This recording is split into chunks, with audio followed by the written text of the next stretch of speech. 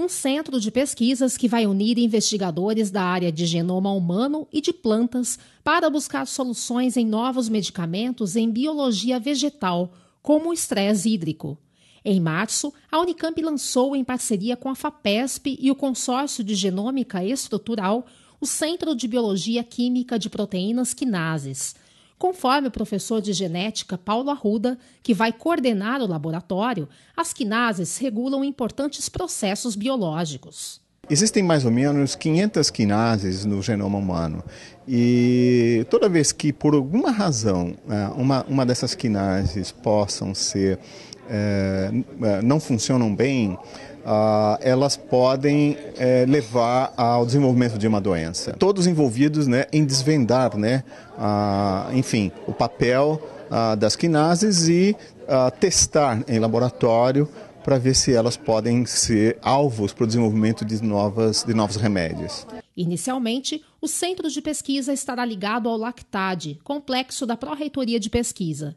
A perspectiva é que ele esteja em funcionamento no segundo semestre deste ano. Lá nós vamos ter a oportunidade de discussão de alto nível de pesquisas de ponta entre o setor industrial na área de fármacos e os cientistas da Unicamp.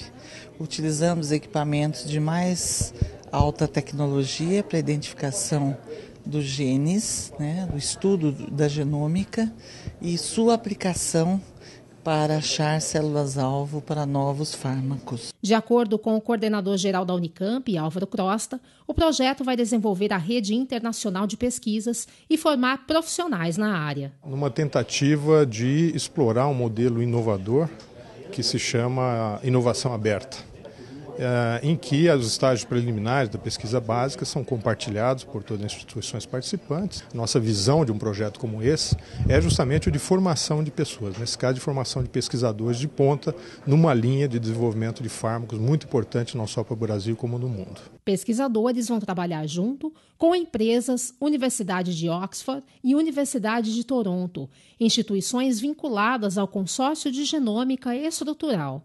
A parceria público-privada vai permitir que resultados possam ser compartilhados gratuitamente. Currently, most of the world's scientists compete and duplicate their effort all around the world and too much money is spent and we're not making enough progress.